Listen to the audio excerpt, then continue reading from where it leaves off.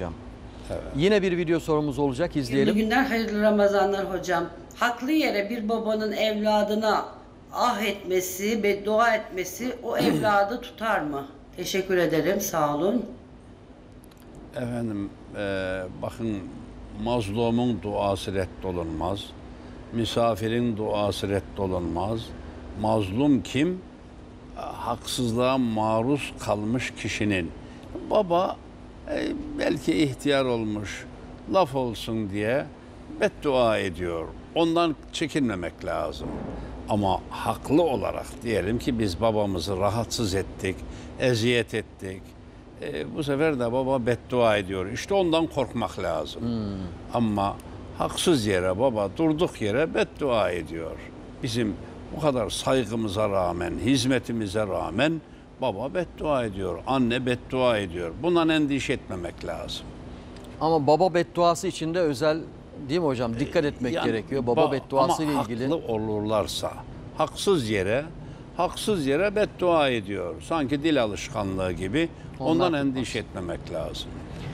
Evet Kahramanmaraş e, Afşin'den izliyorlar. Hayırlı iftarlar. E, bir kez daha geçmiş olsun Kahramanmaraş diyelim. Biz de selam ediyoruz. İzleyicimizin sorusu var diyor ki hocam ben e, anne ve babamın yerine onların oruç fidyesini ödeyebilir miyim? E, müsaadesini almak suretiyle diyerek anne, baba oruç fidyeni ödemek istiyorum. Onlar da tamam dedikten sonra e, güzel bir evlatlık görevi olmuş olur yani. Evet. Müsaade alarak. Evet. Hatay Altınözü Büyükburç Mahallesi'nden yazıyorlar. Hatay'a da Altınözü Büyükburç Mahallesi'ne selam edelim. Hayırlı Ramazanlar. Hani Ramazan'ın mübarek olsun. Ellerinizi öperiz. İyi Allah yayınlar. Yani benim seketlerim var. Seketlerim veriyor ama eksik gelirim diye kendim tereddütte kalıyorum. Bunlar kalan seketler borcumuzun borcu oluyor mu? Bunu sormak istiyorum. eksik kaldı diye endişe ediyor izleyicimiz öyle mi?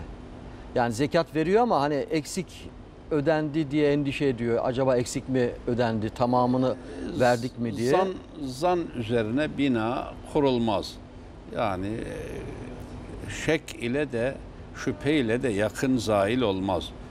Ben zekatım diyelim ki e, 10 bin liraydı verdim e, bitti. E, vesvesliğe gerek yok.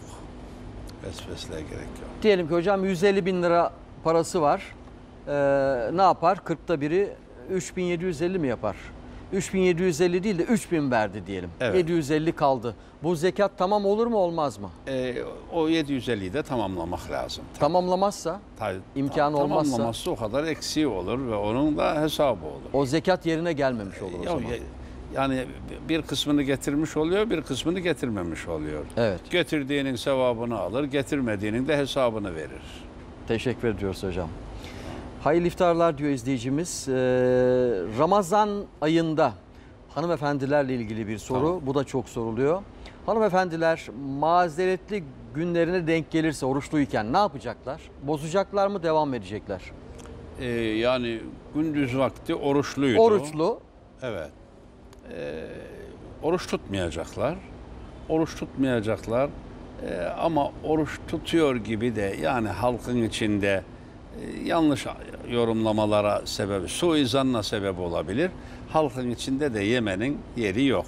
Yoksa akşama kadar artık öyle duracaksın demek de doğru değil. Oruçlu yani oruçluyken, niyetliyken gündüz bu hal meydana gelirse Geldi, şayet ar- artık oruçlu değil. oruçlu değiller. Oruçlu değil. Yiyip evet. içebilirler. Tabii. Ama bunu herkesin içinde de yapmaları Tamam. uygun olmaz diyorsunuz. doğru efendim. Evet. Teşekkür ediyoruz hocam. Daha fazla video izlemek için kanalımıza abone olabilir, ilk izleyen olmak isterseniz bildirimleri açabilirsiniz.